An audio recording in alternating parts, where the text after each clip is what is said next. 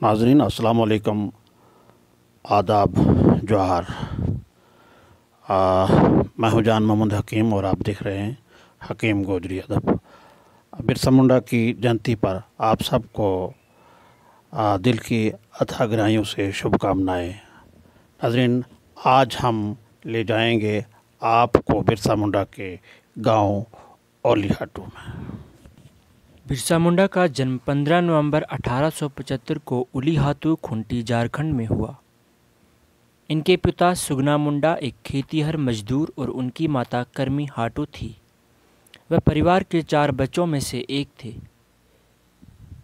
बिरसा मुंडा एक भारतीय स्वतंत्रता सेनानी और एक आदिवासी नेता थे, जिन्होंने ब्रिटिश शासन के खिलाफ विद्रोह किया था। वह एक दूरदर्शी थे, जिन्होंने अपने समुदाय आदिवासी लोगों की मुक्ति में महत्वपूर्ण भूमिका निभाई, जो ब्रिटिश शोषणकारी नीतियों और अत्याचारों के लगातार पीड़ित थे। तो चलिए नाजरीन, आज हम आपको ले चलते हैं बिरसा मुंडा के गाँव उली हाथों में और आपको उनके जन्म स्थान के बारे में जानकारी देते हैं। तो चलिए शुरू करते हैं। नमस्कार साथियों, आज हम रांची ज़िले के खुटी जो शहर है उसके पास हमारे आदिवासी क्रांतिवीर बिरसा जी, इनके जन्म गाँव को आए हैं, गाँव का नाम है ग्राम उलेहातू। तो पहली बार झारखंड आने का यह अवसर मिला और केरकट्टा फाउंडेशन के और भारत के जाने माने साहित्यकार हमारे साथ में है।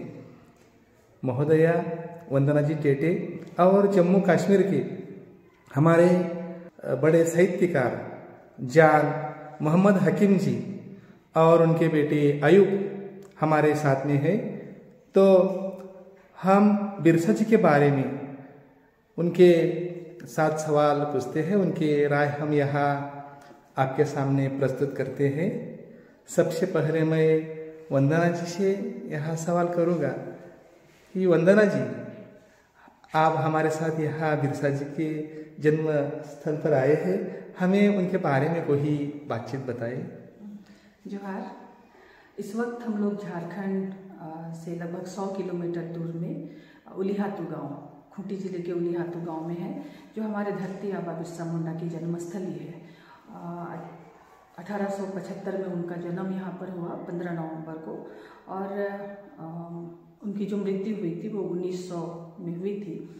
इस गाँव में आ, ये उनका मामा गाँव है और यहाँ उनका पठन पाठन पालन पोषण सारा यहाँ पे हुआ था। और यहीं से उन्होंने जो हमारे लिए ज़मींदारों से अंग्रेज़ों से जो लड़ाई की थी शुरुआत यहीं से उन्होंने की थी। और वो आने वाले समय में जो हम आगे देखेंगे डुम्बारी बुरु हम अभी यहाँ से जाएँगे। डुम्बारी बुरु में उन्होंने अंग्रेज़ों से लड़ाई की थी। यहाँ उनका सारा लालन पालन हुआ था और जो जो भी युद्ध कौशल कहते हैं, तीर चलाना ढेलपास फेंकना, ये सारा उन्होंने यहाँ पे अपने लड़कपन में सीखा था। और यहाँ से जब हम डुम्बारी जाएँगे तो डुम्बारी में जहाँ अंग्रेज़ों के साथ उनकी लड़ाई हुई थी, वो जगह है, और जहाँ उनका स्मारक बना हुआ है। बंदना जी, अभी बिरसा जी के वंशज यहाँ रहते या नहीं? हाँ यहाँ एक बूढ़े बाबा रहते हैं। अभी हम पता करेंगे वो है या नहीं है अभी इस वक्त।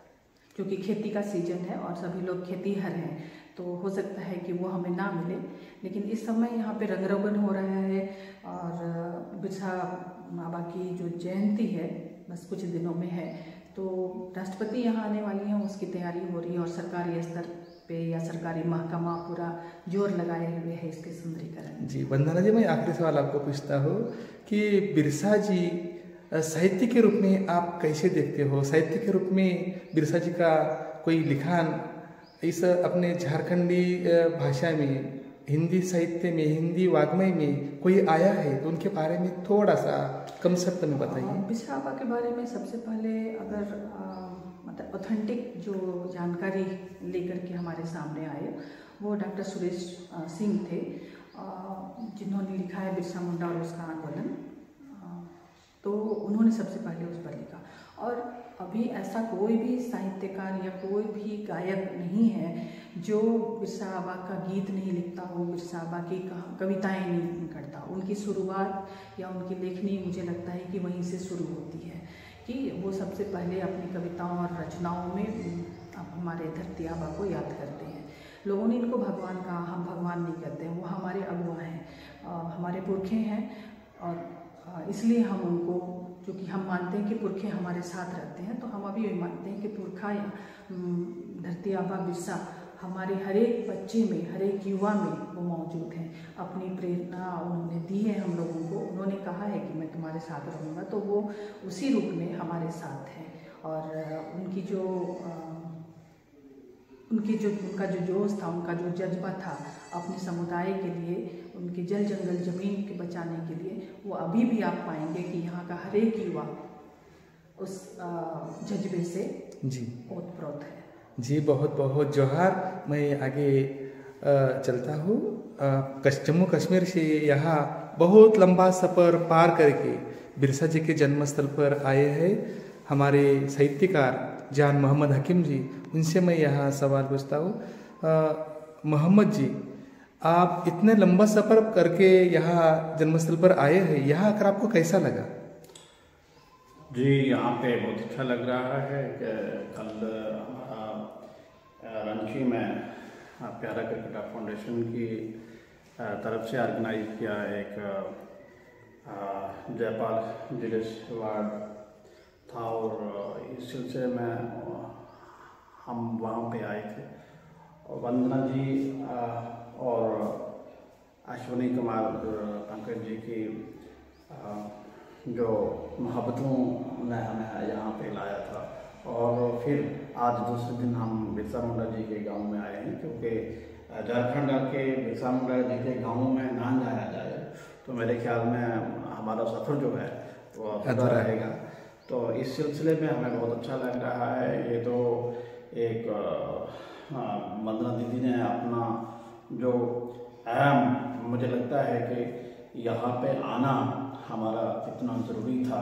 और ये जानकारी हासिल करनी, उनके गाँव के बारे में, उनके जीवन के बारे में, उनके जब हम सुना करते थे और हमने सेलिब्रेट किया था इसको जम्मू कश्मीर पिछले साल हर ज़िले में तो हम सोच रहे थे कि कभी ऐसा होगा कि हम वहाँ जाएँगे उनके गाँव में और वहाँ देखेंगे उनका जो जीवन कहाँ बीता है, उनका बचपन कहाँ बीता है। और उन्होंने जो लड़ाइयाँ लड़ी हैं अपने शेड्यूल ट्राइब के लिए और वो एक जो मुजाहिद आज़ादी रहे हैं, हिंदुस्तान की आज़ादी को लेके तो वो वहाँ पे वहाँ पे भी हम जाएँगे। लेकिन मुझे बहुत अच्छा लग रहा है कि हम यहाँ आए हैं। फिर उनके गाँव का व्यू भी हम देखेंगे। तो मैं एक बार फिर वंदना दीदी जी का और अश्विनी जी का बहुत बहुत मशहूर हूँ कि वो, उन्होंने हमें यहाँ पे एक मौका दिया आने का।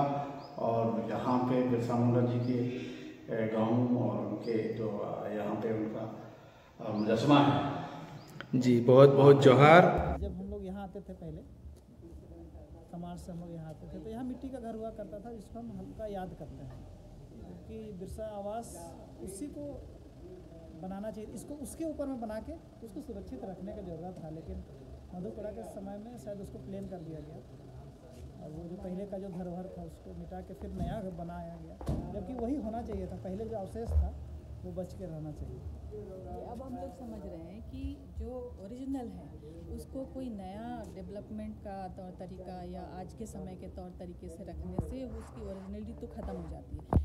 ये घर अगर मिट्टी का होता तो वो हमारे लिए ज़्यादा श्रद्धेय होता। ज़्यादा ये कंक्रीट का बना देना और मार्बल का बनाना रख रखाव के हिसाब से ठीक कह सकते हैं क्योंकि मिट्टी के घर में लकड़ी के जो छत होती है जो खपरेल छत होती है उन सबों में थोड़ी मतलब मेहनत होती है।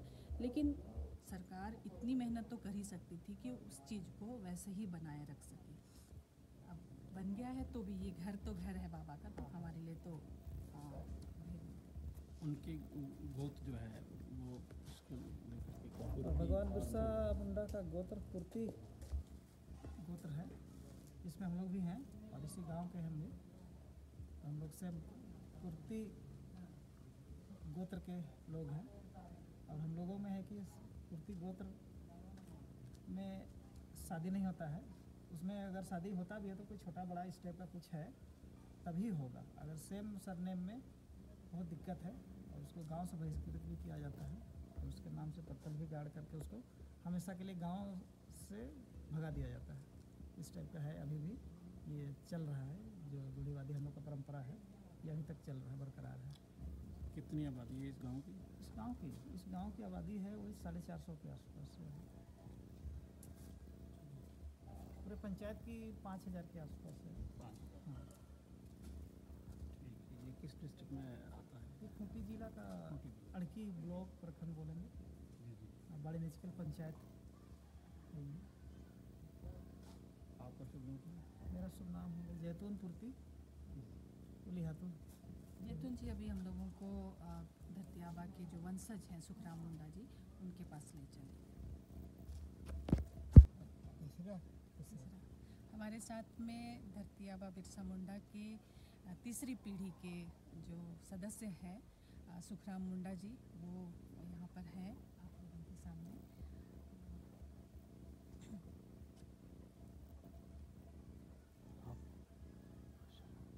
जी क्या कहेंगे आप बिरसा मुंडा जी के? हाँ जी। बताए दे करती अच्छा अच्छा ठीक ठीक। सेव खा रहे थे। सेव खा रहे थे। हाँ। तो हम सुखराम मुंडा बिरसा मुंडा का वंशज और बिरसा मुंडा ने झारखंड ही नहीं सारे देश के लिए संस्कृति भाषा और जल जंगल ज़मीन के लिए अंग्रेज़ों के खिलाफ आंदोलन किए और यहाँ उनके आंदोलन के स्वरूप ही भारत स्वतंत्र हुआ है और आज़ाद अभी आज़ाद देश में अभी सांस ले रहे हैं। बिरसा मुंडा उलियातु ग्राम के ही रहने वाले थे। शासन की कोई सुविधा है क्या आपको? शासन की कोई सुविधा है क्या आपको? सरकार सरकार कुछ की- मदद की है? सरकार से थोड़ा बहुत मदद किया है दो जन को सरकारी नौकरी दिया गया है। बेटों को दो बेटों को सरकारी नौकरी मिला है। बाबा आपके कितने बेटे हैं? हमारे चार बेटे हैं अभी तीन बेटे हैं एक बेटे हो गया एक बेटी है। अच्छा नाम क्या और है हम बाबा? दो बुढ़ा बुढ़ी हैं।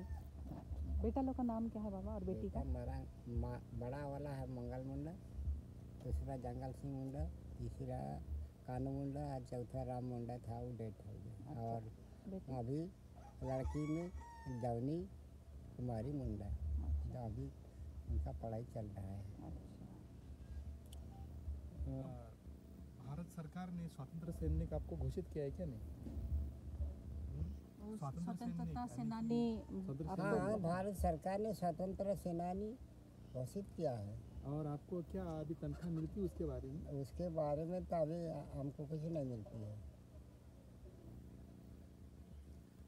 हाँ, दादा बाबा ये एक गीत गीत तो हमको आता नहीं है हम गाते नहीं है। मुंडारी में बाबा? मुंडारी में चाहे हिंदी में कुछ हम तो गीत गाते हैं, आप- गीत नहीं गाते हैं। नहीं गाते नहीं गा सकते हैं। अभी पंद्रह तारीख को द्रौपदी जी मुर्मू भारत के राष्ट्रपति आदिवासी राष्ट्रपति यहाँ उलिहातु में आ रही है। इसके बारे में आप क्या कह सकते हैं? उसके बारे में क्या बोलेंगे? अभी हमको क्या मालूम है क्या करने आ रही है? यहाँ तो हमको खाली मिला है कि द्रौपदी मुर्मू राष्ट्रपति आ रहे हैं। उसके बारे में तो क्या बोलेंगे? कि, कितने लोग हैं परिवार के बिरसा मुंडा जी के अभी जो इस वक्त हैं यहाँ पे? उनकी पीढ़ी से कितने लोग आगे? हैं? तीसरी पीढ़ी। तीसरी पीढ़ी हाँ। तीसरी पीढ़ी हाँ। ये तीसरी पीढ़ी के हैं। इनके बाद में इनके चार बच्चे हैं और एक बेटी है एक बेटी डेथ कर गई। भाई हाँ, एक भाई। है आपका भाई है? भाई का नाम बाबा? मोतीराम मुंडा दो भाई अभी हैं तीसरी पीढ़ी में। और वो लोग वो भाई सब अभी चार जन हैं। अच्छा, नाम बाबा? हम्म? नाम? मुंडा उसका पति पत्नी है बेटा राबी मुंडा और हम्म, और दादा एक सवाल करता हूँ। आप पक्के मकान में रहते हैं अभी कच्चे मकान में? रहते हैं। मकान में हम रहते हैं अभी। ऐसे कच्चे मकान में रहते हैं अभी? तो? अभी तक कच्चे मकान में रहते हैं। कच्चा सवाल में आ, कच्चा मकान का जो सवाल आपने उठाया हम आदिवासी कच्चे मकान में रहना ज़्यादा पसंद करते हैं। पसंद करते हैं क्योंकि ये बिल्कुल आज के समय में जो इको आ, क्या बोलते हैं उसको प्राकृतिक बोलते हैं ना लोग तो हम तो शुरू से ही प्राकृतिक लोग रहे हैं। प्रकृति की पूजा करते हैं प्रकृति के साथ में रहते हैं। तो कच्चा मकान हमारे लिए ज़्यादा हमको आत्मनिर्भर बनाता है। अगर हम इस तरह के कंक्रीट के सीमेंटेड मकान में रहते हैं तो क्या होता है कि हमको टूट फूट होता है कुछ। तो सीमेंट लाने के लिए किसी दूसरे के दुकान में जाना होता है। और छड़ लाना है तो दूसरे के दुकान में जाना होता है। बालू दूसरे कहीं से और उठा के लाना होता है। लेकिन जब हम अपने मिट्टी के घरों में रहते हैं तो हम जहाँ से धरती इतनी बड़ी है हमारे पुरखों ने बनाई है तो हम वहाँ से मिट्टी उठा के करते हैं और रहते हैं आराम से। और ये सबसे आरामदायक होता है स्वास्थ्य के लिए। स्वास्थ्य के लिए। तो मैंने सवाल इसलिए उठाया कि जो जो जिसने क्रांति में योगदान दिया है उसके लिए सरकार ने उसकी जो दखल है आने वाली पीढ़ी की उसने ली है। लेकिन भारत के इतने स्वतंत्र युद्ध में जो बड़ा नाम है और इस बड़े नाम जैसे बिरसा आबा के पहुँचे अभी तक इस अवस्था में है इसलिए मैंने वो सवाल उठाया यही लेकिन हमारा वही वही विरोध है कि हमारा जल जंगल ज़मीन पर जो अधिकार है वो हमको मिलना चाहिए है ना? अब पक्के घर दे के अनाज राशन कार्ड के थ्रू दे करके हमको मोहताज ना बनाया जाए बल्कि हमारे जो घर है हमको इसी हमारा जो मिट्टी का घर है उसी को मरम्मत करने में मदद कर दे सरकार। जी छोटे शब्द में बताता हूँ आपकी लड़ाई अभी तक जल जंगल ज़मीन की है और वो शुरू रहेगी वो अभी चल रही है और अभी मुझको लगता है पीढ़ियों चलेगी। जो एक सवाल मेरा है आपसे कि आदिवासियत जो चल रही है उसमें क्या मतलब कोई नए तरीके है कि पुराने तरीके से ही आदिवासियत जो परंपराएँ हैं हमारी उसी से चल रहे हैं? अरे आदिवासी तो अभी परंपरा से ही वही चल रहे हैं। वही परंपराएँ हैं वो प्रकृति प्रेमी है प्रकृति का पूजा करते हैं। जी। तो शादी वगैरह के वही रिवाज हैं वही रस्में हैं। हाँ। उसी तरह से और कोई खास नई बात इस गाँव की आप बताएँगे? जाते जाते कहाँ पर बसाया? उसके नाम पर है। मतलब फुर्ती आदमी फुर्ती के नाम गोत्र पर के पेड़ के नाम पर वैसा गाँव का नाम है। फुर्ती गोत्र के पहले पुरखे कोई आए होंगे यहाँ पे और आम के पेड़ के नीचे उन्होंने रहना शुरू किया और धीरे धीरे बढ़ा। तो ये कुली हाथू गाँव के नाम से पूरा जंगल जाना के की कितना उम्र हो रहा है बाबा? अस्सी बरस हो रहा है। एट्टी क्या देखा है आपने? अस्सी वर्ष में क्या देखा है? बहुत सारे देखे। हम्म। अंग्रेज़ काल देखा है अंग्रेज़ को नहीं दिखे थे छोटा थे उस समय? छोटा थे। और कोई ज़िंदगी में कोई उथल पुथल देखा है? ये जो हम्म, सरकारी लोग आते हैं संस्था के लोग आते हैं तो आपको क्या लगता है बाबा?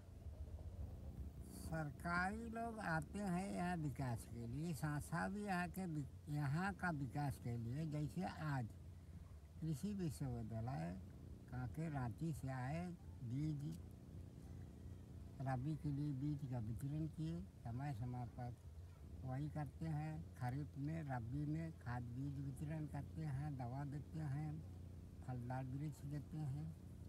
तो अभी गाँव के लोग जो पुरखा जमाना से जो बीज हम लोग लगाते थे वो वाला बीज को करते हैं कि सरकारी हाँ, बीज वो वाला भी करते हैं पुरखा वाला भी लगाते हैं बहुत कोई पुरखा वाला ही लगाते हैं आधुनिक वाला बहुत कम यहाँ पर लगाते हैं।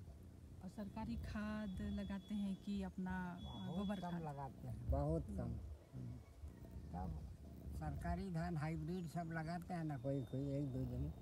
उसमें थोड़ा बहुत सल्फेट का यूज़ होता है। वो जो सरकारी वाला होता है उसमें तो चाहिए होता है। यहाँ ज़मीन उपजाऊ है। जंगल से खाल खाद आता है। हम्म।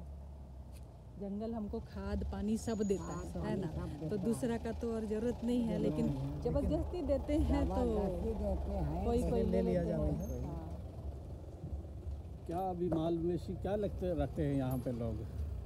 क्या जानवर रखते हैं पूछ रहे हैं यहाँ रखते हैं गाय बकरी सुअर मुर्गी वही सब है। फ़ायदा होता है कुछ? होता है। उसी पे। ये बाबा मतलब गाँव के लोग जो रखते हैं, वो कोई उस तरह से हाई मतलब जो बॉयलर मुर्गी होती है या सरकारी अनुदान से मुर्गी होती है, शायद कुछ कुछ रखते होंगे, लेकिन हर एक आदिवासी घर में आपको बकरियाँ, गाय, मुर्गी ये मिल जाती है। ये फ़ायदे का नहीं, ये हमारा कैश है मतलब हम इनको बेच के फिर पैसा लेते हैं। हाँ। हमारे बीच में पैसे का चलन तो बहुत बाद में आया तो इसीलिए हाँ। हाँ, पहले यही था हाँ यही हमको ज़रूरत है आपकी मुर्गी की और आपको ज़रूरत है हमारे चावल की तो हम आपको चावल दे के मुर्गी ले लेंगे। ऐसा ही है। जी जी जी। और दूसरे ये है कि माल मवेशी जो है भेड़ बकरियाँ रखो आप भैंसें रखो या कोई भी माल में जानवर रखो उसका ये है कि जब भी आपको ज़रूरत पड़े उसको आप बेच सकते हैं और उसको इस्तेमाल कर सकते हैं अपनी किसी ज़रूरत के लिए इस्तेमाल करके उनको बेचा जा सकता है। ये तो ट्राइबल शेड्यूल ट्राइब की हर जगह पे यही यही एक परंपरा है।